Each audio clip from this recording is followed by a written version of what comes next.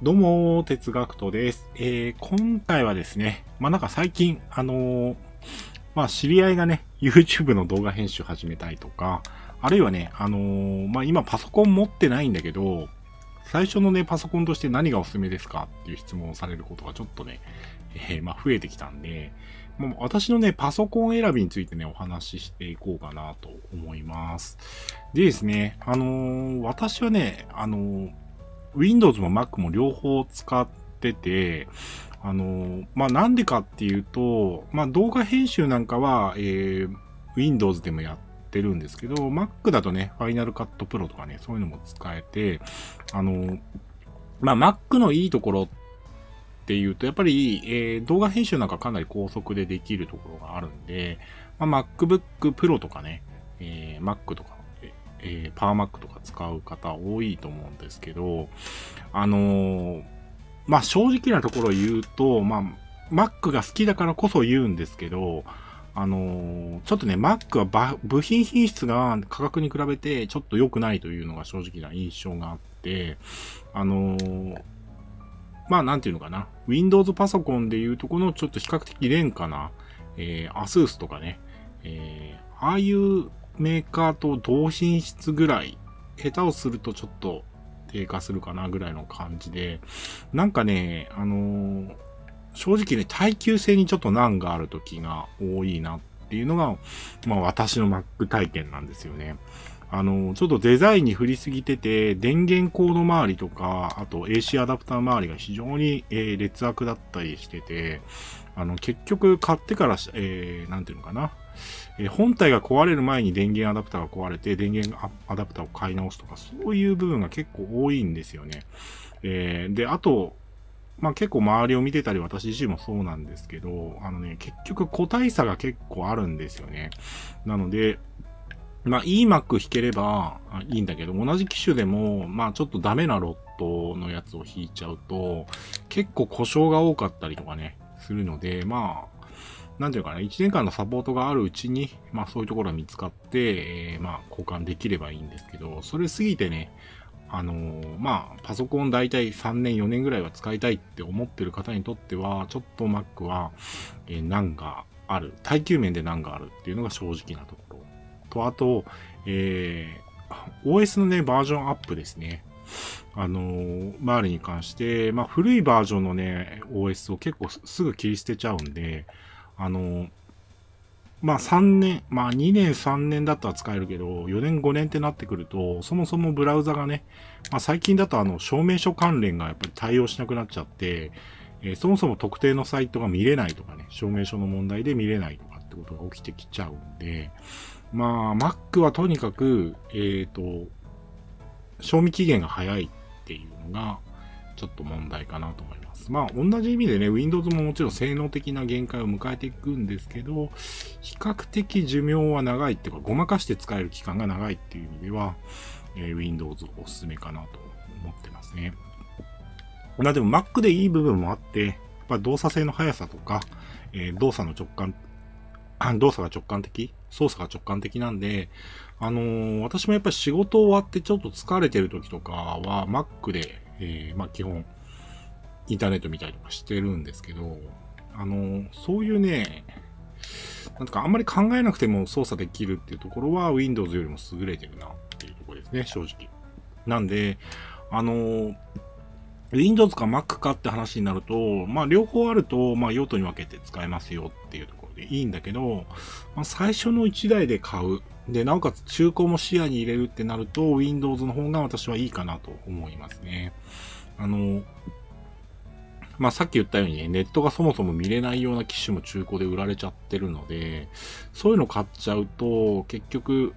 インターネット閲覧用としては使えないとかね、そういう致命的な問題も起きてきちゃうんで、あの、なんていうかな、え、OS もね、ハードに依存して、えー、ある程度のところまでしか アップデートできないので、まあ、そういうとこも含めて考えると、中古の Mac を買うっていうのは結構リスキーだなと知識がない人が買うと結構危ないなと思っていて、あの、その点 Windows だったらまあ中古のものでね、同じ値段で考えるんだったらいいものが買えるんじゃないかなと思うので、まあそういう視点で言うとね、Windows がいいんじゃないかなと思います。まあ Mac はね、私正直ね Mac、えー、もう少し価格上げてもいいんで、あの、ハードの品質っていうか部品の品質もうちょっと上げてほしいなっていうのがいつもね、要望としてあるんですよね。まあ、な、なのでね、まあもちろん今、だいぶ良くはなってきてるんだけど、まあちょっとね、まあ2、3年前の機種とかはちょっとひどかったなという印象が強くて、まあこういうね、ちょっと Mac Mac を叩く的な感じになっちゃってんだけど、決して Mac 悪いわけじゃなくて、あの、やっぱり Mac いいなっていう感じもあるし、どういうわけかね、私がいる、まあ大学の研究機関とかそういうところだとね、Mac ユーザー結構多いんですよね。Mac 好きな人。まあそれは一つは、えー、MacOS X っていうのが、あの、Linux、Unix 系のね、OS との相性がいい。えー、まあ、Mac 自体が、MacOS X 自体が、まあ、Unix の一つっていうこともあって、あの、そういうソフトとの親和性が高いから、まあ、科学技術系のね、計算とか、そういうののソフトに使いやすいっていうのもあるんですよね。なので、結構、大学畑とかだと、Mac ユーザー多いんですけど、まあ、なんだろう。両方使っといて両方操作に慣れておくと、えー、いいですよっていうのもあります、正直。あのー、まあやっぱりなんかの仕事で Mac 使わなきゃいけないときに Mac 全くわかりませんっていうよりは、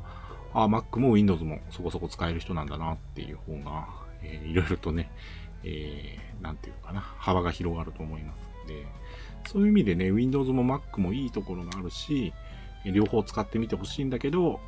まあ、その、限られた予算の中で、最初に1台、えー、買う。しかも中古も視野に入れるってなると、Windows のパソコンをお勧めしたいかなっていうのが正直なところでございます。なんでね、まあ最初 Windows 買うと、やっぱり、あの、世の中の大多数はやっぱりまだ Windows で、えー、特にビジネスの世界は Windows で、えー、中心に回ってるので、Windows の方がいいし、あのー、Mac のね、ワードっていうのもあるので、えー、あるし、え、ちゃんとね、Windows で編集したワードのファイルも Mac で動くんですけど、やっぱりね、未だに、えー、まあ、文書系はね、そんなにひどくないんだけど、まあ、パワーポイントとか、あと、Excel 関連でやっぱり表示がね、えー、Windows と Mac で結構ずれちゃうとかそういうことがあるので、なので、あんまりね、あの、Mac 版の、えー、オフィス。まあ、最近のバージョン実はそうじゃないんだけど、ちゃんと Windows とね、Mac で共用になってるんだけど、ちょっと一つ前のものだったりすると、えー、同じオフィスでもね、えー、ちょっと、えー、ずれちゃったりとかね、文字がずれちゃったりとか、そういう問題もあるので、あまり、えー、互換性がなかったりするのでね、それも考えると一番、えー、まあ、まだシェアの多い Windows を使った方が、えー、何かと問題が少ないかなと思います。まあ、あとエンジニアさんとかで最初に使う PC 何がにした方がいいんですかって言われた時は確実に Windows かなと思います。あの、まあ、技術系のソフトとかユーティリティとかってやっぱり Windows 版、Mac 版しかなくて Windows 版があるっていうパターンよりは、えー、えー、あ、Windows 版がないっていうパターンよりは、Mac 版がなくて Windows 版だけがあるっていうパターンの方が圧倒的多数なので、あのー、まず Windows を揃えてから余裕が出てきてから Mac を買うっていう方がいいと思いますので、まあね、お仕事で使う方とかは特に、えー、まあ最初のパソコンは Windows にしとくと無難かなという気がします。あとまあ Steam のゲームとかも Windows 対応のもの多いんで、ゲームやりたい人もね、Windows が最初はいいんじゃないかなと思います。はい。まあこれって結局、なんていうか用途によって結局、あのー、何買うかって変わっちゃうんで、まあ Mac じゃなきゃできないとか、Mac のこのソフトが確実に使いたいっていうんであれば Mac を絶対ね、選んだ方がいいので、あのー、あくまでも私のね、意見に過ぎないんですけども、まあ、いろいろもろもろ考え合わせると、まあ、Windows を最初に買っといて、えー、まあ、余裕が出たら Mac 買うっていうのが結構無難な選択なんじゃないかなと思います。まあ、中古の Mac は特にやっぱりいろいろとね、えー、メンテナンスが必要になるので、えー、まあ、最初の1台にはあまり向いてないかなと思います。その点、Windows の中古であれば、ある程度ね、えー、幅を持った使い方ができるんで、潰しが効くっていう感じはしますね。まあ、今回ちょっとパソコン選びという話題に飛んでますが、まあ、たまに GR 雑談は、まあ、主に、まあ、ディアブロを回しつつも、えー、まあ、私自身がちょっと気になったトピックを、えー、なんていうのかな、取り上げてますので、えー、まあ、気になるものだけ見ていただけたら嬉しいです。はい。まあ、だいぶバルディッシュもね、えー、量産できるようになってきたんで、レベル上げもね、はかどってきたんで、そうですね。まあ、そろそろね、シーズン26はどんな感じかも気になる時期になってきたので、まあ、あのー、上がり次第ね、ちょっと動画の投稿は前後するかもしれませんが、えー、詳しい動画上げたいと思いますので、ぜひそちらの方もよろしくお願いします。よいしょ。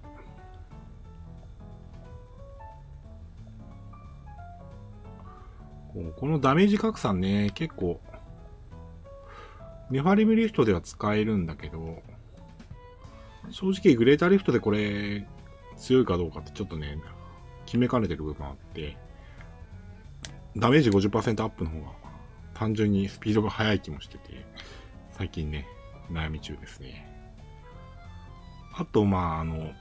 ダメージの第2ランクの属性をどっちにするかですね。あの、火炎スキルダメージの方がいいのか、それともダメージプラスの方がいいのかも結構ね、悩みどころかなと思ってますね。はい。